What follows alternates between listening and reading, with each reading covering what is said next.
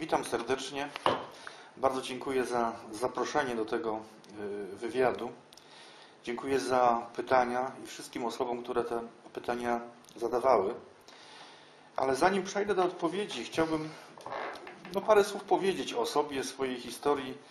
Myślę, że niektóre z tych pytań uzyskają swoją odpowiedź, kiedy, kiedy mm, będę mówił o tym, jaką drogę y, przeszedłem. Ale warto zacząć od początku. Y, urodziłem się w roku 1961, więc łatwo policzyć, ile mam obecnie lat. Y, moja, mój kontakt z Bogiem, czy moje doświadczenie Boga y, sięga bardzo no, wczesnego dzieciństwa. W gruncie rzeczy, jak miałem 7, 8, 9 lat, to w tym wieku bardzo przeżywałem. Przeżywałem pewne rzeczy i Pamiętam to do dzisiaj, więc jest to jakaś, jakaś wartość, która e, mnie dotknęła. Wierzę, że to Boże było dotknięcie. Bardzo emocjonalnie wtedy reagowałem na pieśni religijne. Bardzo lubiłem taką pieśń. Pan Jezus już się zbliża, już puka domek drzwi. Pobiegnę go przywitać, z radości serce drży. Ja tak swojej dziecięcej wyobraźni biegłem do e, Pana Jezusa, by znaleźć się w Jego ramionach. W tym czasie byłem ministrantem i w mojej rodzinie, od rodziców i innych, no to byłem kandydatem na księdza w rodzinie. E, takie, taki miałem epizod e, w tym wczesnym dzieciństwie. Ale minęło trochę czasu, byłem nastolatkiem, no to te rzeczy duchowe, kontakt z Bogiem, religia, no, straciły na znaczeniu. Zacząłem właściwie odchodzić, żyć zupełnie e, innym życiem, tym, co przed oczami było, tym, co świat miał do zaoferowania. I trwało to tak gdzieś mniej więcej do czasu, kiedy e, skończyłem 19 lat. Był to rok 1980, początek tego roku. E, no ciekawa rzecz, że pod koniec grudnia 79 no tak w takim nastroju modlitewnym spędziłem e, noc. Była taka refleksja nad tym, co minęło. To był dokładnie 31 grudnia. Siedziałem sam w domu podczas tej nocy sylwestrowej i rozmyślałem o tym moim młodym, minionym życiu. No i w zasadzie w takim nastroju modlitewnym. Oczekiwałem czegoś, czegoś nowego. To było takie moje westchnienie ku Bogu, którego no, gdzieś tam w świadomości miałem, to, to dziecięce przeżycie gdzieś było cały czas żywe, więc, więc y, jakoś do tego, do tego się odwoływałem i myślę, że takie było westchnienie ku Bogu, żeby cokolwiek y, zrobił z moim życiem. No i zaskakujące jest to, że na początku stycznia spotkałem się z moim kolegą, który, jak się okazało, był sympatykiem świadków Jehowy. I no, parę słów mi powiedział o, o świadkach, o tym, czego się dowiaduje w rozmowach z nimi. Ja w tym czasie przypomniałem sobie, że mam w domu jakąś książkę od, od świadków, którą kiedyś y, nam sąsiad zostawił. Była to książka Prawda, która prowadzi do życia wiecznego. I czytałem tę książkę w tym momencie, to było moje drugie chyba podejście do tej książki i jakoś lektura mnie pochłonęła. Miałem jakieś przekonanie wówczas, że to jest głos Boży do mnie, że Bóg w jakiś sposób się chce, chce żebym zmienił swoje życie. No, tak mój kolega zaprowadził mnie do tych świadków, z którymi on studiował, z którymi się spotykał, z którymi rozmawiał. No i ze mną też rozpoczęto takie studium biblijne. To myślę, że było koło lutego 80 mm, roku. No, robiłem szybkie postępy. W rodzinie dało się to zauważyć, bo po kilku miesiącach e, mojej przygody z Biblią, bo dostałem dosyć szybko od świadków Biblię. No i to jest niewątpliwie ważna rzecz, że Świadkowie byli tymi, którzy dali mi do rąk Biblię, którą mogłem dociekać, studiować. To jeszcze pierwszym egzemplarzem była Biblia Gdańska, która sprawiała no, trochę trudności językowych, ale mimo wszystko przez kilka ksiąg mojżeszowych przeszedłem, bo byłem wówczas na tyle ambitny, żeby zacząć od ksiąg y, mojżeszowych, y, moją lekturę Biblii. No i właściwie od tamtego czasu kontakt z Biblią mam, mam nieustanny. Moje studium no, robiło postępy, jak to się określało. Gdzieś późną wiosną w zasadzie byłem już po książce Prawda, Zacząłem studiować drugą książkę, sprawy, w których u Boga kłamstwo jest niemożliwe. No mało dostępna dzisiaj ta książka, mało myślę, że kto y, ze współczesnych świadków ją jeszcze zna. Także takie dwie książki udało nam się wspólnie przerobić i 6 lipca 1980 roku przyjąłem y, chrzest. Do, do tego momentu miałem problemy w rodzinie. Miałem wówczas 19 lat chodziłem do szkoły średniej, byłem na utrzymaniu rodziców. No, ta historia, ta historia e, no, wywarła na nich też wpływ. Nie podobało im się to, co robię. No, skończyło się tym, że krótki czas byłem poza domem, ale ostatecznie pozwolono mi jeszcze y, skończyć szkołę. Skończyłem szkołę w Świn... A, nie, nie wspomniałem, że pochodzę ze Świnoujścia. Może to też jest ważna informacja. I chrzest przyjmowałem w Morzu Bałtyckim. W 1982 roku, yy, aha, to może warto jeszcze wspomnieć, w tym okresie w Świnoujściu poznałem bardzo ciekawych yy, świadków. Jeden z nich zaszczepił we mnie takie głębokie dociekania e, w Biblii. E, dużo spędzaliśmy czasu na, na dyskusjach biblijnych. To nie był jeszcze czas, kiedy wpływy organizacji były tak, tak silne, jak to ma miejsce współcześnie. W Polsce działalność świadków była w podziemiu i e, naprawdę można było zbudować wspaniałe relacje z ludźmi, którzy wówczas byli świadkami. Ja wspominam Mirka, bo tak miał na imię, jego rozmowy, dyskusje z nim. E, jedno, to też chyba nigdy nie zapomnę, jedno z naszych spotkań, e, na których żeśmy właściwie non-stop omawiali Słowo Boże, z przerwami tylko na posiłki.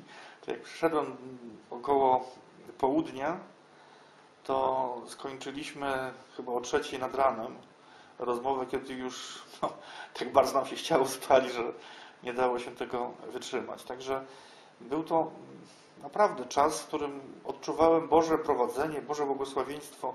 Moje życie się diametralnie zmieniło. Porzuciłem wiele rzeczy, które czyniłem wcześniej. Mój język się zmienił. No, myślę, że wszystko. Nazywam to dzisiaj moim nawróceniem. Nawróceniem, choć e, nieco później powiem coś więcej na ten temat e, w kontekście nawrócenia jakie, miał, jakie przechodzili Izraelici pod wpływem zwiastowania Jana Chrzciciela. Ale to może dygresja, którą później szerzej e, rozwinę. W każdym razie był to czas, kiedy miałem głębokie przeświadczenie, że służę Bogu, pełnię Bożą wolę, poznaję Jego Słowo i miałem przeświadczenie, że świadkowie są tą jedyną organizacją, która głosi prawdę. Na tym etapie specjalnych wątpliwości e, co do prawdziwości nauk, które poznawałem, nie miałem. Również odniosę się nieco później do kwestii e, mojej takiej już obecnej refleksji, bo, bo inaczej patrzę dzisiaj na pewne rzeczy, a tu na razie chcę powiedzieć, e, jak to wyglądało z tamtego punktu widzenia, bo no, tak, to wówczas, tak to wówczas widziałem. Komentuję to krótko, że Bóg nie dał mi wówczas e, poznania pełnego wielu rzeczy, no bo tak chciał, bo taka była Jego wola. Myślę, że taka była Jego wola, żebym spędził wśród e, świadków kolejne 20 lat mojego życia. Kolejnym etapem to był Śląsk. W 1982 roku po skończeniu szkoły średniej w Świnoujściu wyjechałem na Śląsk, konkretnie do Chorzowa. Tu rozpocząłem pracę zawodową, no i oczywiście włączyłem się w życie lokalnego zboru w Chorzowie. Wówczas y, zebrania odbywały się w prywatnych mieszkaniach. Zbory były podzielone na takie tak zwane ośrodki służby. No ja byłem w jednym z nich, ponieważ dosyć szybko wraz z grupą tutaj przyjaciół w Chorzowie zaczęliśmy coraz intensywniej prowadzić działalność głoszenia od drzwi do drzwi. Byliśmy pionierami pom- pomocniczymi. To też skutkowało, że wkrótce zostałem sługą pomocniczym, jak świadkowie określają diakonów określanych w ten sposób w Nowym Testamencie. Mając 25 lat zostałem starszym zboru w Chorzowie. E, No w tym samym mniej więcej czasie zostałem starszym zboru. Pionierem stałym i w 87, mając 26 lat, razem z jednym moich przyjaciół zostaliśmy pionierami specjalnymi i skierowani do działalności w Radomsku. Radomsko to jest po Chorzowie kolejny taki etap jako pionierów specjalnych. Spędziłem tam 3 lata, 4 miesiące. E, No muszę przyznać, jak patrzę na siebie w tamtym czasie, że był to chyba jeden z radośniejszych fragmentów e, mojego bycia wśród świadków. Tak ogólnie chcę powiedzieć, że moja obecność w organizacji świadków nie wiąże się z jakąś traumą, z jakimiś e, problemami emocjonalnymi czy innymi. E, No, byłem bardzo aktywny, zaangażowany i w gruncie rzeczy e, szczęśliwy. Poznawałem mnóstwo ciekawych ludzi. W Radomsku rzeczywiście tyle do dzisiaj ludzi bliskich mojemu sercu. Z niektórymi udaje mi się jakiś kontakt jeszcze utrzymywać, ale z oczywistych względów jest to, jest to utrudnione. W każdym razie okres radomszczański to był taki okres intensywnego zaangażowania, pracy w organizacji. No, było to zauważone o tyle, że w roku 90 na początku zostałem nadzorcą y, obwodu. I w tej służbie nadzorcy obwodu spędziłem kolejne 8 lat. Y, Byłem w czterech w sumie obwodach. Pierwszy z nich to Jastrzębie, Zdrój, Wodzisław Śląski. Kolejny to Krasnystaw. Później byłem w Elblągu i w Malborku. I ostatni obwód, największy terytorialnie, bo obejmował e, okręg e, od Płońska, Mławy, Ciechanowa, aż po Łomże i Kolno. Także taki, taki duży, duży obszar w środku z Ostrołęką, z tym z Kurpiami. No, z każdego z tych, z tych obwodów mam wiele miłych e, wspomnień, wiele poznanych, e, no, wartościowych ludzi. Owszem, zdarzały się od czasu do czasu takie czy inne zgrzyty, ale, ale no nie przywiązuję do nich wagi, ponieważ nie to było istotą, nie to było najważniejsze. Cały czas przez te wszystkie lata no, odczuwałem taką autentyczną radość z możliwości bywania wśród tych różnych ludzi, zwiastowania im tej, tej nauki, którą po- poznałem.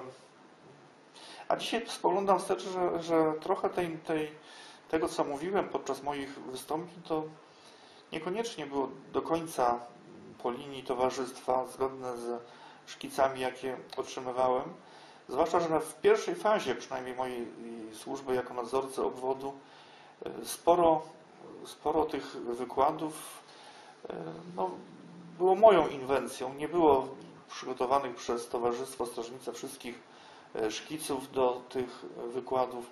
Można było pozwolić sobie na, jakąś osobistą, osobistą inwencję i, i cokolwiek e, powiedzieć tak od serca, od siebie, co wynika z osobistego studiowania Biblii. I tutaj szczególnie pamiętam, bo zaczęło się to już pod koniec pierwszego obwodu e, w Jastrzębiu, kiedy miałem taki szkic do wykładu Jezus Chrystus, nowy władca ziemi. I ten, ten wykład o Jezusie, o Panu Jezusie, a później mówiłem we wszystkich czterech obwodach, na takich dodatkowych obsługach, bo no, no coś mnie poruszyło. Ja myślę, że ten, ten wykład mógł być takim pierwszym przyczółkiem, jaki Bóg e, chciał u mnie zrobić ponownie. Ponownie po tym czasie mojego dzieciństwa, kiedy, jak mówiłem na początku, wspominałem, Pan Jezus już się zbliża, już puka do mych drzwi, pobiegnę Go przywitać, z radości serce drży. No i tu był, jak zacząłem y, głębiej studiować postać Pana Jezusa i o tym, o tym mówić, to często, dużo, no to gdzieś, gdzieś myślę, że to był takim, właśnie jak wspomniałem, pierwszy przyczółek, że Bóg w osobie Pana Jezusa chciał znaleźć ponownie e, miejsce, gdyż no, widocznie czas, czas mój e, w organizacji miał dobiec końca.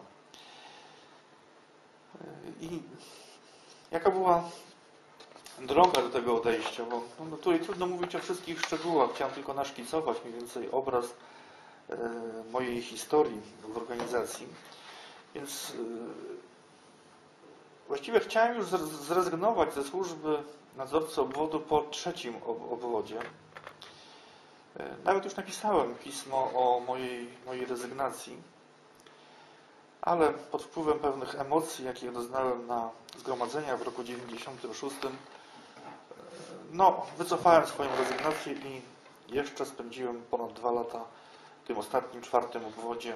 To jest w Ostrołęce, Ciechanowie, Łomży, Płońsku, Mławie i kilku innych miejscowościach tamtego regionu.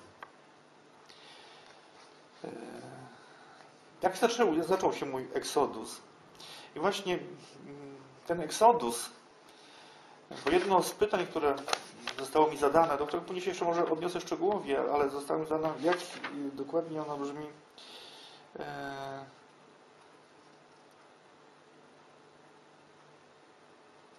Dlaczego świadkowie Jehowy nie są nazywani kościołem, tylko organizacją? Albo jeszcze bardziej to, jak przebiegał, ile e, trwał proces wyjścia spod autorytetu organizacji, pod autorytet Biblii? Albo pytanie jeszcze takie, co było dla, dla mnie największą trudnością w czasie, gdy odszedłem z organizacji świadków i zdecydowałem się uczęstwiać do Kościoła Wolnych Chrześcijan. To szczególnie y, jest, no tak trochę uśmiecham na to, na to pytanie, bo ja nie myślę w kategoriach, że wyszedłem z jednego systemu religijnego i trafiłem do drugiego, bo to nie na tym rzecz polega moim zdaniem. Ja określam swój eksodus mianem wyjścia od organizacji do Jezusa. To nie jest przyjście do innej denominacji, do innego systemu, do innej religii. To, że akurat współcześnie jestem w Kościele Wolnych Chrześcijan, no to wynika, że miejsce chrześcijanina jest w lokalnej wspólnocie wierzących. Natomiast nie ma takiego znaczenia, jaka to jest y, wspólnota. Istotne jest, żeby E, była ewangeliczna, czyli przesłanie Ewangelii miało tam nadrzędne y, miejsce. Więc jest to eksodus od organizacji, od struktur zaangażowania w pewnym, pewien system religijny, pewną strukturę władzy, nawet jak określam dzisiaj y, organizację, do spotkania z żywym Panem Jezusem. I jeśli myślę o istocie dzisiaj religii, no to jest być blisko Boga przez Pana Jezusa, który jest obrazem Boga i przez to, który jest drogą prawdą i życiem, który prowadzi do Ojca. Jak to wyglądało u mnie? Jakie rzeczy, kiedy już ten przyczółek e, gdzieś był zrobiony i moje no, pragnienie służenia Bogu i oddania się Bogu było e, pełne, no to znowu trzeba wrócić do, do Chorzowa, ponieważ w Chorzowie mam cały czas grono bliskich przyjaciół i jeden z nich, tu nawet mogę powiedzieć nazwisko Samuel Wolny, zaczął w Chorzowie spożywać chleb i wino podczas e, pamiątki, podczas wieczerzy pańskiej. To jest o tyle dziwne, że świadkowie Jehowy no w większości, zdecydowanej większości nie spożywają chleba i wina podczas wieczerzy. E, uczestniczy w nim tylko mała garstka tak zwanych pomazańców z nadzieją niebiańską, tylko oni, z tym, że jest większy, kilka razy więcej zborów niż wszystkich tych pomazańców razem wziętych, więc w większości zborów po prostu nikt nie spożywa. I kiedy no, Samuel zaczął spożywać, no było to takie dosyć głośne. E, w Chorzowie, w okolicach dotarło do mnie. Ja w tym czasie myślałem sobie, że kwestie Wielkiej Rzeszy, to jest jedna z nauk świadków, kwestia właśnie pomazańców, no mam dosyć dobrze poukładane, więc poczułem taką misję, żeby e, Samuela trochę wyprostować.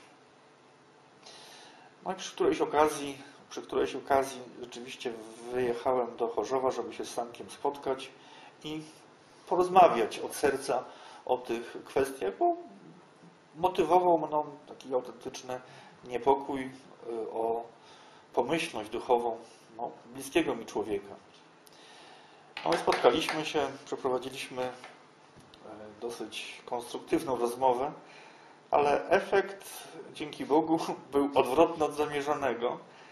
E, to ja raczej wyjechałem e, z wątpliwościami to, co do moich przekonań, jakie miałem do tej pory.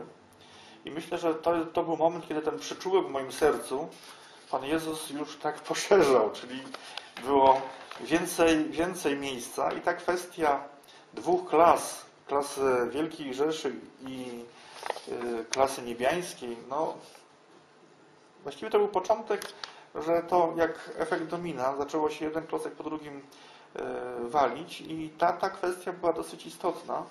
Zaczęło do mnie docierać, że bycie w Chrystusie, bycie nowym stworzeniem to jest istota chrześcijańskiej tożsamości, czy raczej tożsamości chrześcijanina, tak by trzeba e, powiedzieć. I niespożywanie chleba i wina, no to jest atak na to sedno tożsamości e, chrześcijanina, bo no, to z czasem dotarło do mnie jeszcze pełni. W każdym razie była to jedna z tych ważnych kwestii, która spowodowała, że e, no, coś się zaczęło w moim sercu, wnętrzu dziać no jak powiedziałem, ten, ten przyczółek się zaczął e, poszerzać. W tym mniej więcej czasie, i to chyba też od Samuela dostałem książkę yy, Kryzys sumienia Raimunda Franca.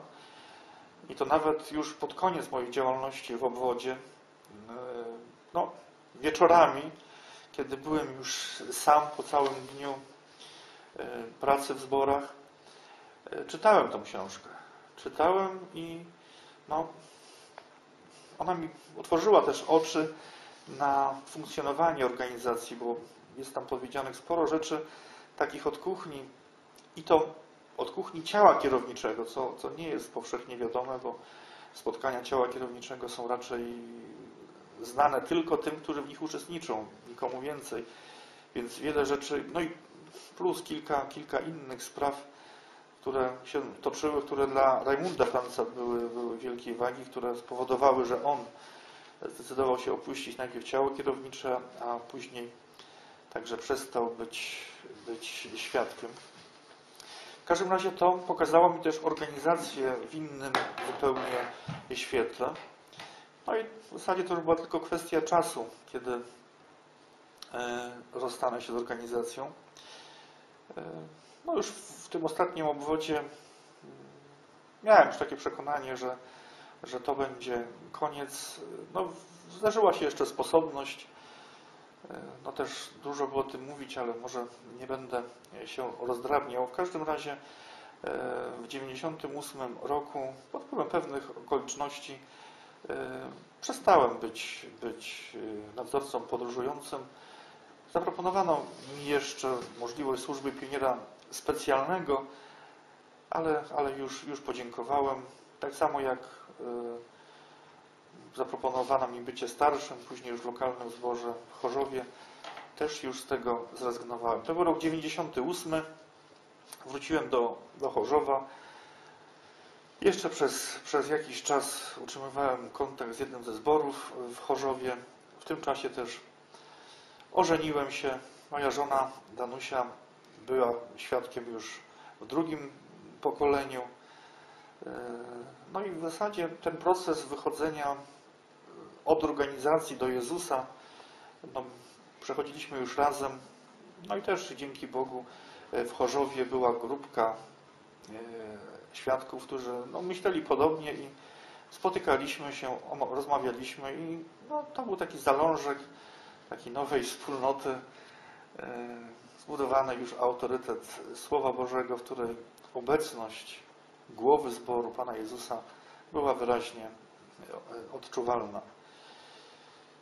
Rok 2000 byłem z moją żoną na ostatniej pamiątce i były omawiane słowa o jednym chrzcie, jednej nadziei, jednej, jednej, jednej wierze z Efezjan 4 rozdziału. E, Natomiast wykład szedł w kierunku dwóch klas chrześcijan. Tekst mówi jeden chrzest, jedna wiara, jedna nadzieja. Powołani jesteśmy do jednej nadziei, a wykładnia właściwie każdego wykładu na pamiątce u świadków to jest rozróżnienie tych dwóch nadziei po to, żeby jedni spożywali w liczbie paru tysięcy, a kilka milionów pozostałych świadków właściwie nie spożywa. No, już to dla nas było jakąś taką kropką, kropką nad i. Po tej pamiątce poszliśmy, no akurat się złożyło, że do domu Samuela i mieliśmy jeszcze, jeszcze raz pamiątkę, ale już taką prawdziwą pamiątkę, kiedy spożywaliśmy chleb, piliśmy wino. Myślę, że to był, to był właśnie ten, ten, ten taki punkt y, zwrotny. To był wiosna 2000 rok, kiedy y, no, była decyzja o opuszczeniu organizacji. No ale to jeszcze nie koniec y, tego eksodusu, bo jeszcze no, dużo rzeczy się nie zbudowało w moim wnętrzu. To coś istotnego, co było istotne dotychczas, zostało zburzone. E, Natomiast no, wewnątrz był pewien chaos. Był pewien chaos. I dla mnie wielką pomocą w tym okresie było podjęcie e, studiów w seminarium teologicznym we Wrocławiu. W 2000 roku i też y, kilka osób, z którymi się spotykaliśmy, plus poznaliśmy jeszcze kolejne osoby. No, z niektórymi z tych osób, które poznałem wówczas, y, no jestem dzisiaj w zborze w Świętochłowicach, także to rozpoczął się proces takiej znajomości, przyjaźni i od tego 2000 roku do 2006 w zasadzie studiowałem najpierw we Wrocławiu, później jeszcze jeden rok 2005-2006 w Warszawie. I myślę sobie, że to był bardzo dla mnie dobry okres, y, kiedy no jeszcze nie byłem na tyle przekonany o członkostwie w lokalnej wspólnocie, a jednocześnie comiesięczne wyjazdy do, na uczelnię powodowały, że ta uczelnia była moim kościołem w pewnym sensie, bo miałem kontakty z wierzącymi ludźmi, to różnych denominacji. To też mnie uderzyło, że e, tam baptyści, wolni chrześcijanie, zielonoświątkowcy i wielu innych ewangelicznych wyznań było razem, poznawali Słowo Boże, wspólnie się modlili. No dla mnie było to ewenement jakiś, którego nie, do, nie doświadczyłem wcześniej. Miało to, miało to no, duże znaczenie, żeby sobie uświadomić, że nie przynależność denominacyjna się liczy, ale bycie w Chrystusie. A Pan Jezus, jestem przekonany, w ogóle Bóg ma swoje dzieci niezależnie od granic denominacyjnych. To jest Boża wola, kto jest Jego dzieckiem i myślę, że no, trzeba na to nieco inaczej i szerzej spojrzeć niż przez pryzmat zamknięcia w jakiejś jednej, jedynie słusznej prawdzie, jedynie słusznej e, doktrynie. Dzisiaj też wyznaję tezę, że prawda jest w Jezusie, natomiast my wszyscy jesteśmy w drodze i tyle z tej prawdy możemy posiąść, ile z łaski Bożej będzie nam, będzie nam dane. No i istotne jest, żeby trzymać się tego kursu, którym jest Pan Jezus, który jest drogą, prawdą yy, i życiem.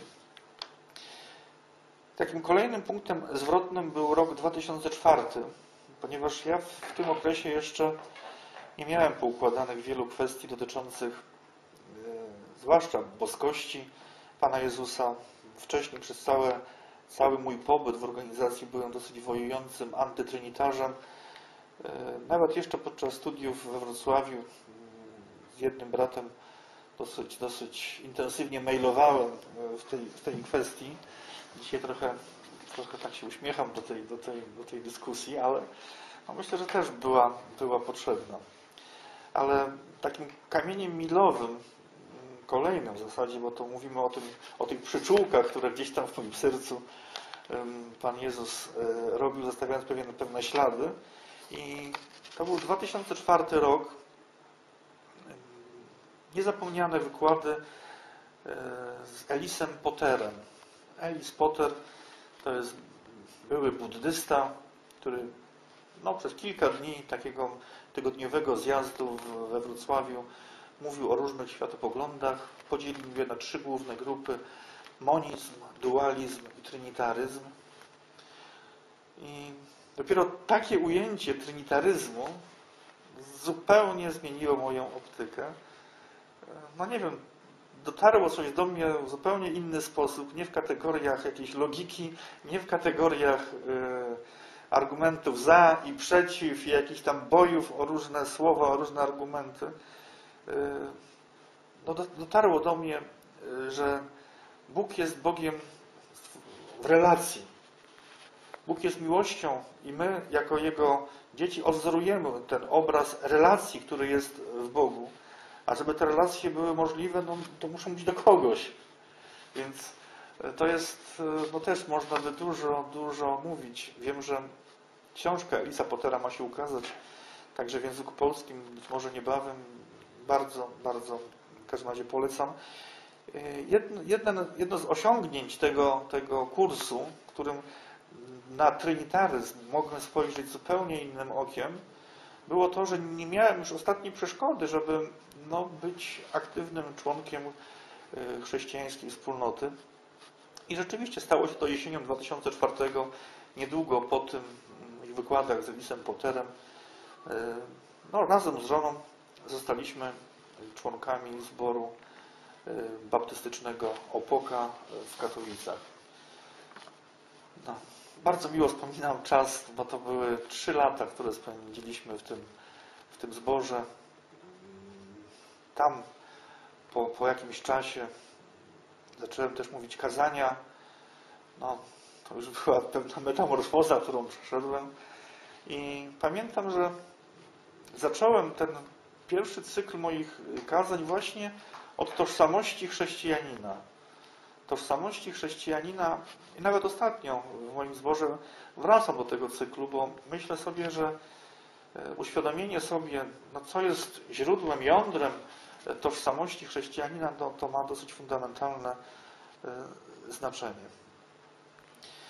W 2007 roku współuczestniczyłem w tworzeniu nowego zboru w Świętochłowicach, w którym jestem starszym do dnia dzisiejszego. To jest Kościół Wolnych Chrześcijan w Świętochłowicach. E, Ważnym elementem też, który no, był myślę jakimś rykoszetem tych moich e, przemian wewnętrznych, to zorganizowanie wspólnie z kilkoma braćmi e, ośrodka edukacyjnego Berea, który po kilku latach przekształcił się w szkołę biblijną, która ma wykłady stacjonarne, ale też e, poszliśmy w kierunku trybu e-learning, w którym wykłady są możliwe do odtworzenia i z możliwością pełnej nauki przez internet. Także Berea to e, również takie przedsięwzięcie, które, które jest mi bardzo bliskie, którym się utożsamiam i e, no, bardzo mi leży na sercu, żeby prowadzić działalność w tej szkole, aby Słowo Boże mogło docierać do serc ludzi wierzących, ale w takim głębszym, pełniejszym wymiarze, żeby nie zadowalać się tylko powierzchowną znajomością Słowa Bożego. No myślę, że w wielkim telegraficznym skrócie e, tak mógłbym zamknąć e, tą moją e, historię. Myślę, że podczas odpowiadania na kolejne pytania, no jeszcze do w tej mojej historii do różnych momentów będę mógł się odnieść.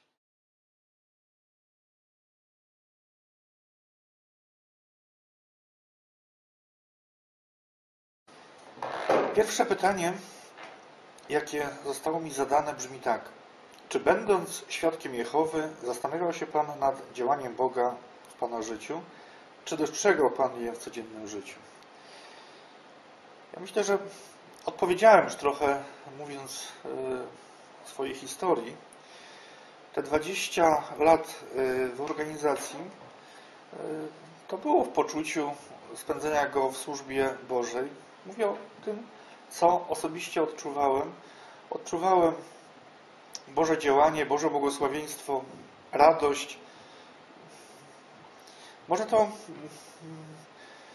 jest trudne do, do uchwycenia, ale dzisiaj mam też takie przekonanie, że e, Bóg może swoje dzieci e, gdziekolwiek powołać, prowadzić też jak chce.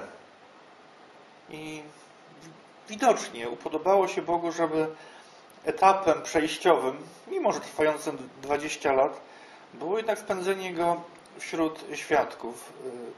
Myślę, że było, miałem gdzieś jakieś takie przyćmienie, że pewnych rzeczy nie mogłem dostrzec w pełnym świetle, ale nie zmienia to faktu, że odczuwałem tą radość, miałem zapał, zacięcie do studiowania Bożego Słowa, właśnie podczas studiowania, bo to taka refleksja współczesna, że kiedyś studiując pewne fragmenty, dużo rzeczy nie widziałem. Przecież taki moment, gdzie to, to co było tą blokadą, gdzieś ustąpiło i, i dostrzegłem, dostrzegam w dalszym ciągu, bo ja żyję w przekonaniu, że proces uczniostwa jest nieskończony.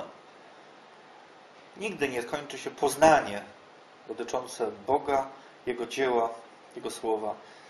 I to jest wielce radosne. Więc mimo, że dzisiaj organizację jako twór ludzki y, oceniam negatywnie, to jednak mój, mój pobyt tam odczuwam jako jednak Boże prowadzenie.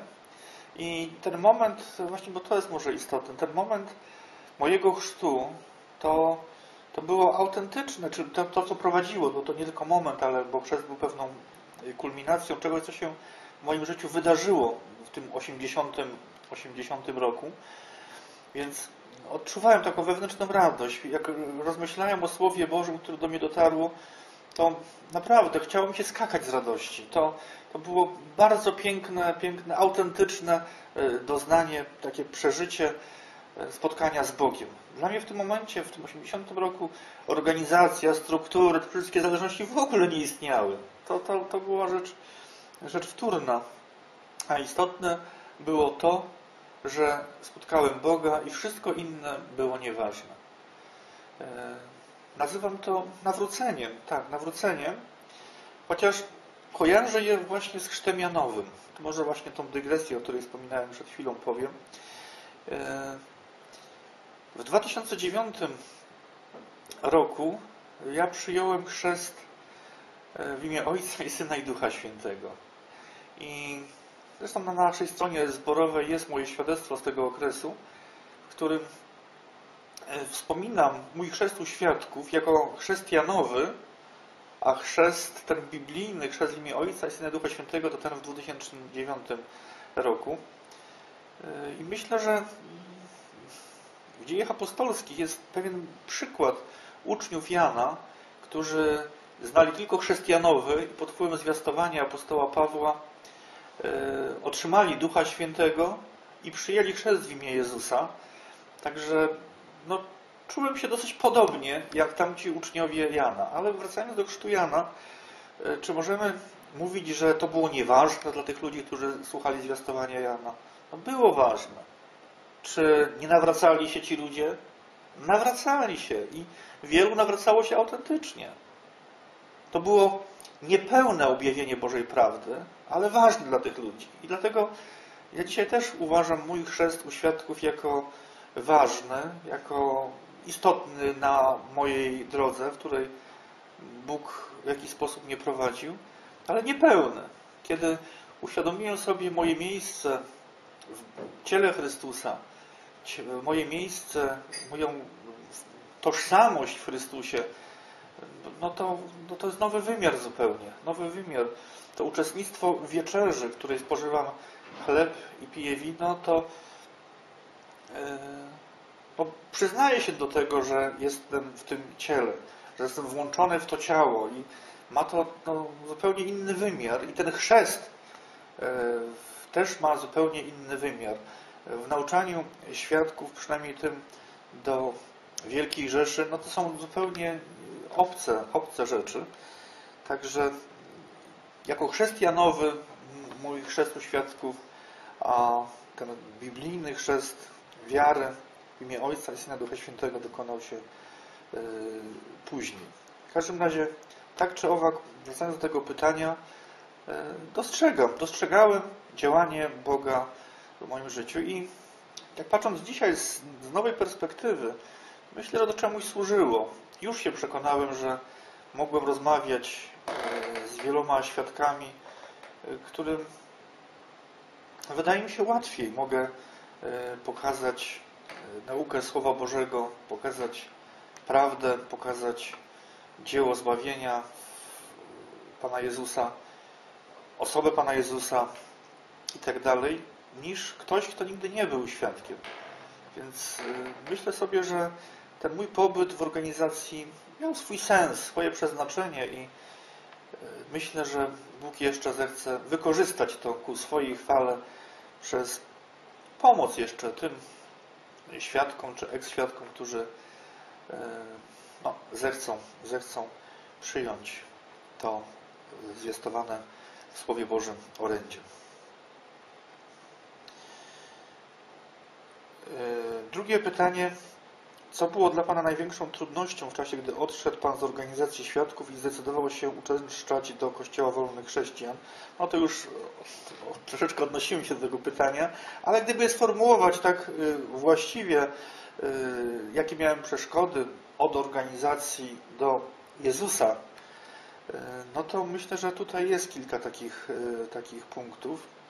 Pierwszy to taki czysto egzystencjalny. E, ja przez od 87 roku do 98, czyli 11 lat, byłem pracownikiem Towarzystwa Strażnica.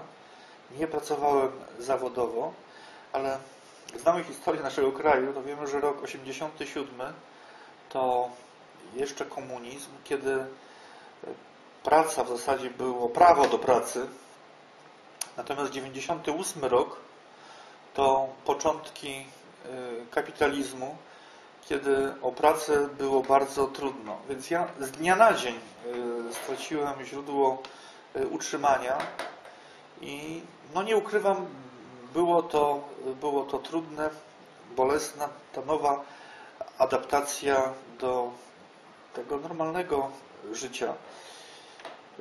Ale muszę przyznać, że odczułem tutaj Boże błogosławieństwo, Boże prowadzenie i wspomnę o tym, bo, bo jest, to dla mnie, jest to dla mnie ważne. W roku 2000, kiedy podjęliśmy to razem z żoną decyzję, że będę studiował we Wrocławiu, to była trudna decyzja, ponieważ nasz status finansowy był delikatnie mówiąc nie najlepszy.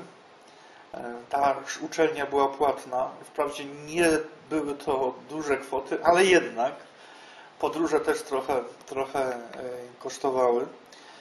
E, więc no to była decyzja dosyć z, nietrafiona, można by powiedzieć, z ekonomicznego punktu widzenia.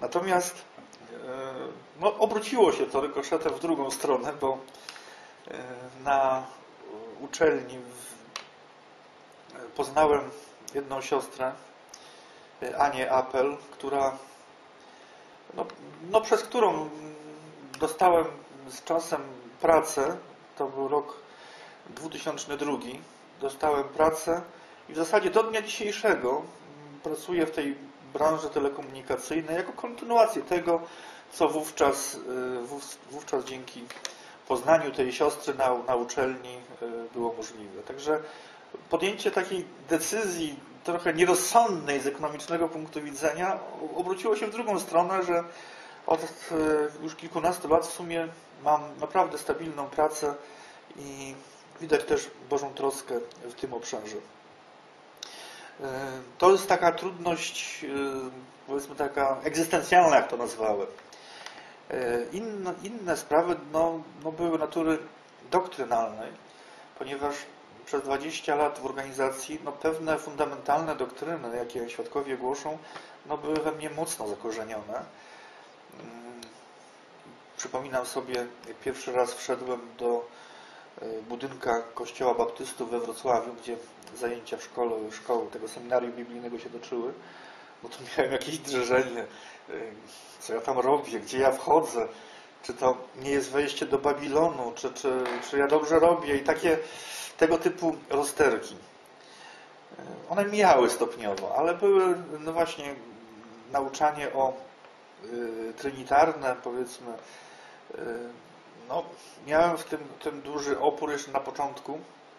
Jeszcze y, no, nie docierało tak do, do mnie, więc miałem trudność, żeby zaakceptować braterstwo z tymi ludźmi, którzy jeszcze w tych moich tamtejszych przekonaniach no, nie do końca odzwierciedlali naukę Bożego Słowa. Bardzo ostre boje, takie doktrynalne toczyliśmy podczas podróży samochodem do Wrocławia i z powrotem. Na miejscu podczas zajęć tak samo. Ja myślę, że obecność kilku eks-świadków na uczelni we Wrocławiu był takim e, ciekawym eksperymentem, bo rzeczywiście tam wrzało. Nie, nie, ba, nie baliśmy się. To, to jest też wartość tej uczelni, że można było swobodnie mówić o swoich przekonaniach, dyskutować i, i no, można to było zrobić. Nie trzeba było się kryć, bo w organizacji nawet jak ktoś zaczyna myśleć trochę inaczej, niezgodnie z linią, e, która jest w strażnicy, no to ma problem, żeby o tym mówić. Ma problem, a tam tego nie było. I no myślę, że to, to samo w sobie było tą wartością, że można było się tam trochę pokłócić, troszeczkę ostro podyskutować. Czasami debaty w kuchni tam się toczyły do nocy późnej. No i rzeczywiście to, to, to pękło e, w tym 2004 roku, tak już do końca pękło, kiedy e, na wykładach Elisa Pottera gdzieś czułem, że Bóg tą jakąś ostatnią łuskę gdzieś zdejmuje i miałem już ten pełny pełny przystęp do, do Bożego Słowa, ale to był proces, jak widać. W 1998 roku zakończyłem mm, służbę jako obwodową u świadków. W 2000 był właściwie koniec y, kontaktów ze zborem świadków, a 2004 rok dopiero gdzieś y, z takim pełnym przekonaniem mogłem y, rozpocząć, rozpocząć nowy etap wśród ewangelicznych chrześcijan, tych, których Bóg powołuje do, swojej, do siebie. No i właściwie odpowiedziałem na trzecie też pytanie, bo jak przebiegał i ile trwał proces wyjścia spod autorytetu organizacji pod autorytet Biblii. No cóż tu jeszcze mogę powiedzieć? Może e, powiem o pewnych fundamentalnych e, naukach, moim zdaniem, e, świadków, które dotyczące organizacji, bo może jeszcze dotyczące istoty Boga mm, wrócę do tego, bo mamy dziewiąte pytanie, które mówi o boskości Pana Jezusa. Jak ja do, dochodziłem do boskości Pana Jezusa, więc o tym szerzej później, ale jeśli chodzi o e, takie nauki, które no, trzymają nawet eks-świadków jeszcze w orbicie świadków, to jedną z nich jest e, nauczanie o niewolniku wiernym i rozumnym. To jest przypowieść z Ewangelii Mateusza, 24 rozdział, wersety 45 do 47. Zazwyczaj te wersety tylko są komentowane, rzadziej te następne, które właściwie mówią o złym słudze. Bo to jest przypowieść o dobrym słudze i o złym słudze, o wiernym niewolniku i niewiernym niewolniku, żeby użyć innej, innego przykładu. E, na podstawie tej przypowieści świadkowie stworzyli strukturę władzy, bo interpretacja tej przypowieści, a mówi ona mniej więcej tak. Któż jest tym niewolnikiem wiernym i rozumnym, którego Pan, gdy przyjdzie, zastanie tak czyniącego? Tak czyniącego, jak wcześniej mówi, który rozdaje pokarm czeladzi na czas słuszny. Zaprawdę, powiadam wam, postawi go nad całą swoją majątnością. A dalej jest, że sługa zły będzie potępiony, wyrzucony tam, będzie płacz i zgrzytanie zębami. W każdym razie ten niewolnik wierny yy, przez całe lata no, służył za podstawę do stworzenia struktury organizacji, struktury władzy, ja to określam, bo yy, ten tekst interpretowano następująco. Pan Jezus w 1914 roku rozpoczął królowanie.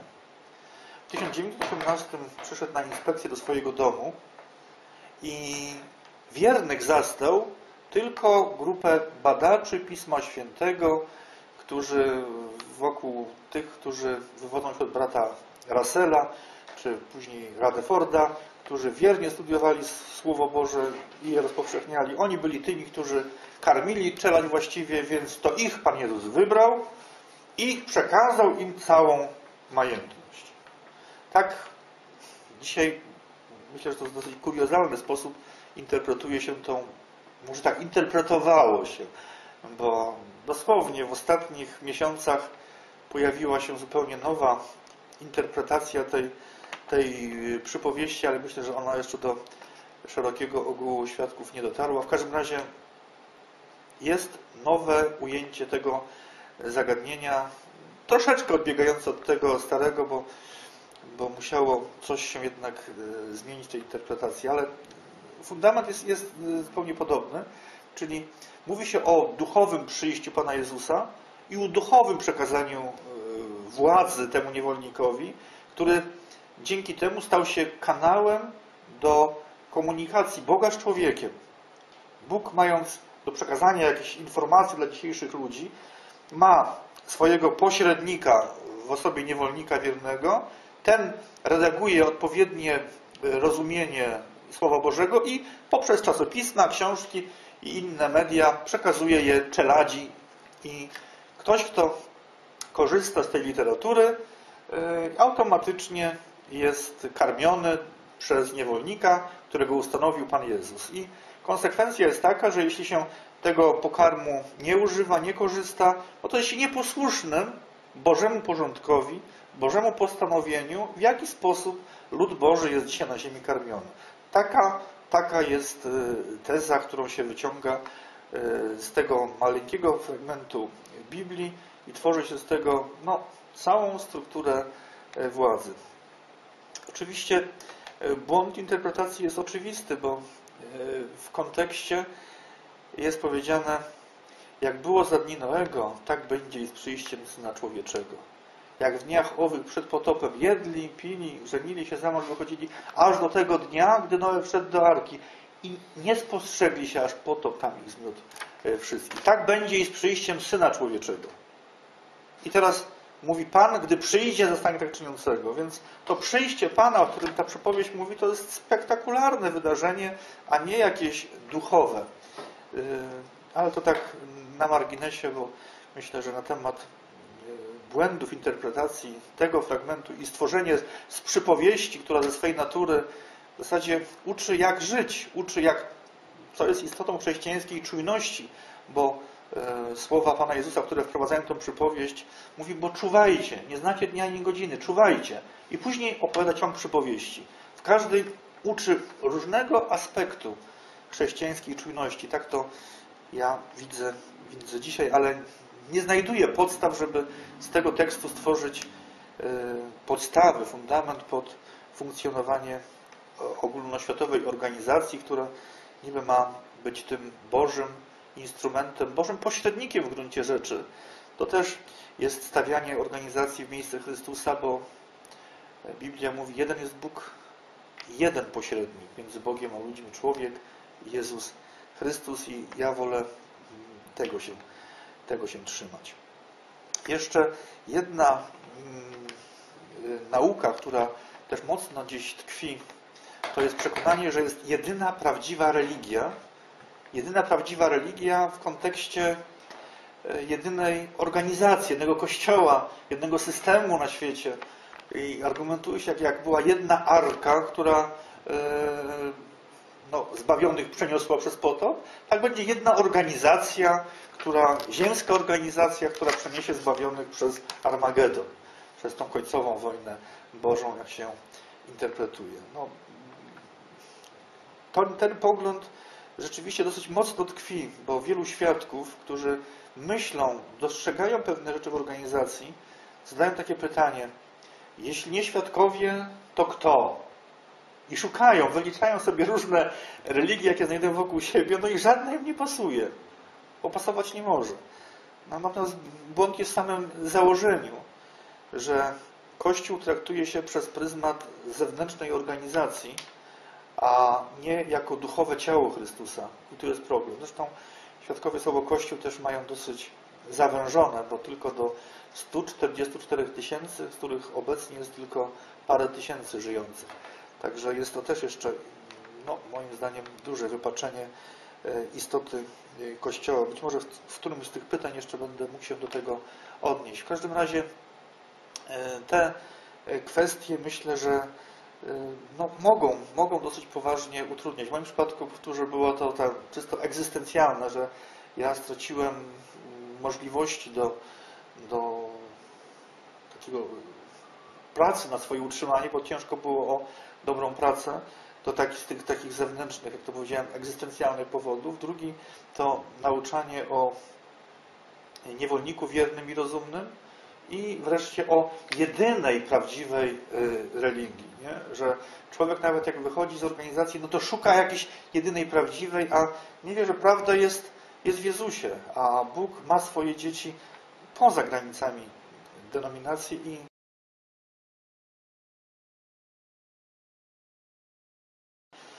no, to jest trudne do, do uchwycenia dla wielu świadków, dla eks-świadków i dla mnie było na jakimś etapie dosyć trudne do uchwycenia, ale dziękuję Bogu, że dzisiaj nie myślę już denominacyjnie, bo Kościół postrzegam przede wszystkim jako rzeczywistość duchowa. A ten ziemski wymiar Kościoła no, ma już właśnie nieco inny wymiar niż ten duchowy, który jest, który jest ważniejszy.